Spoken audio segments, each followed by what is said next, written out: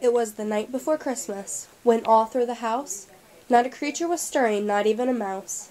The stockings were hung by the chimney with care, In hopes that St. Nicholas would soon be there.